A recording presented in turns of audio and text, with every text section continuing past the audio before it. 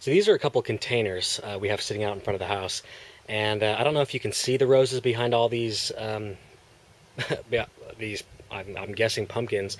Um, but everything in here other than the rose has actually, we don't even know how it got planted. There's there's two tomato plants. There's one here, there's one here, and this one, uh, we're, we're actually going to start getting some tomatoes off it.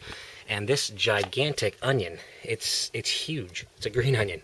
I can't believe how big it is, but these two containers here are actually doing pretty well. This, this, well, this one's pumpkin. I don't know if the other ones are pumpkin, uh, but as you see, the flowers are coming in, and uh, yeah, it's starting to starting to grow out. But yeah, like I said, we did, the only thing that was planted in here was roses, so that was uh, that, that was actually pretty cool to see. So still not a lot of growth on uh, the plants inside the greenhouse because uh, we still don't have uh, any fish in the system. Um, but I mean, they're growing a little bit. You can see there's some uh, some flowers that are coming in on these tomato plants. Um, uh, looks like on all of them. And uh, this green bean looks like it's starting to take off, so that's good. Uh, bell peppers are still still about the same size. But uh, the habaneros, uh, these guys are not not really liking life right now. So, um, and the the dwarf tomato plants, they're they're still they're still with us, so that's that's good. And here's the uh, the lettuce, the spring mix that uh, I have planted. They're all getting nice and big. That's that's pretty exciting. I can't wait to be able to come out here and just have my own salad bar whenever I whenever I whenever I want. Okay, so we got the uh, hot water heater all hooked up. As you can see, this line it was or is the line that uh, feeds the greenhouse. And as you can see here, we replaced the 90 with a T, uh, which then travels through a valve so we can, we, we can control the water movement through the heat exchange. Uh, it's uh, brought up and uh, reduced to a half, half inch, runs through the heat exchange and then empties into the uh, fish tank on the other side, which I'll show you right now. So water passes through the exchange, uh, through this half inch line, and then back down into the fish tank, right back, right back there.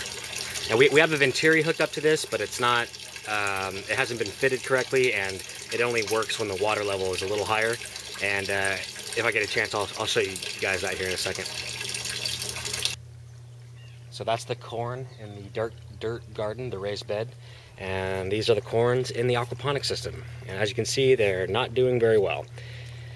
Uh, this system is actually not doing very well, and I have uh, two theories on that. Uh, one being that the rain is interfering with the growth of my beneficial bacteria and or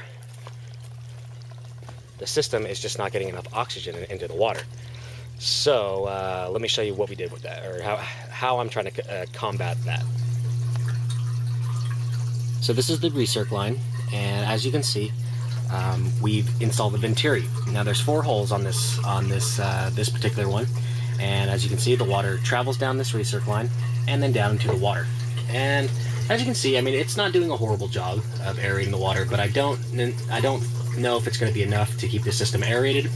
But also, when the water drains back into the system, I'm sure that aerates a little bit. So I'm, I'm still kind of leaning towards uh, the problem with the system is uh, the rain and not being covered. But uh, the Venturi works pretty well. I'm going to add a couple more of these throughout uh, all of our systems, uh, especially uh, the downspout going coming into the the floating raft bed because uh, that would be pretty easy to add and uh, you know help aer aerate the water. So I just wanted you uh, to take a look at that.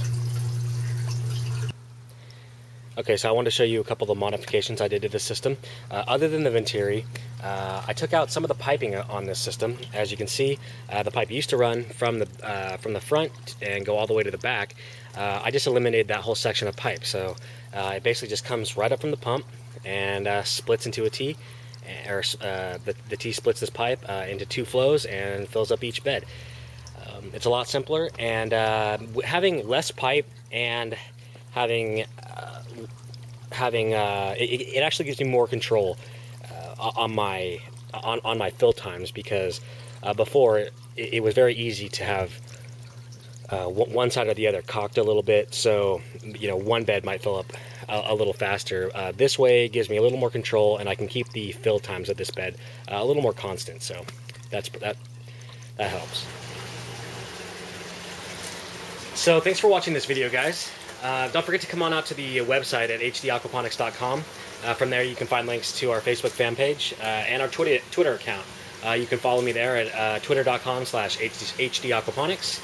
And uh, don't forget the forums on the website. We've started taking, we've opened up the forums and we've started fielding a couple questions, and it's it's actually been pretty fun. So if you had, if you have any questions about aquaponics or anything like that, please just come on out to the forums and we'll try to get your questions answered. Anyway, uh, thanks for watching this video, and I will be updating you guys again next week.